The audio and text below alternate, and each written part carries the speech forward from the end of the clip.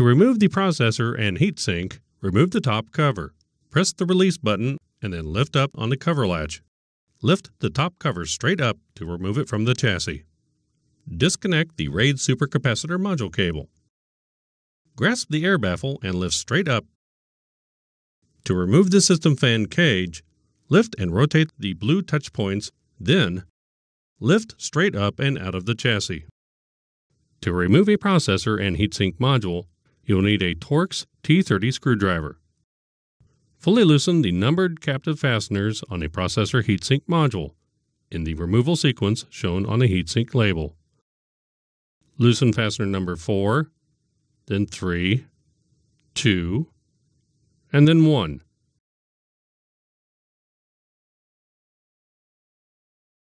Carefully lift the processor heatsink module straight up from the processor socket.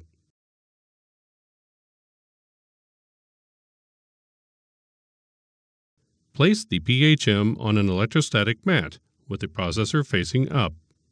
Locate the pry notch and disconnect the nearest retainer clip. Place a standard head screwdriver into the notch near the clip and carefully twist the screwdriver counterclockwise to loosen the retainer from the heatsink. Disconnect the remaining clips in counterclockwise order. Grasp the retainer by the edges and lift straight up to separate the CPU and retainer from the heatsink. Leave the CPU in the retainer and place it in the appropriate electrostatic protective packaging. If the CPU or heatsink are going to be reused, use an approved wipe to clean the thermal grease from the part.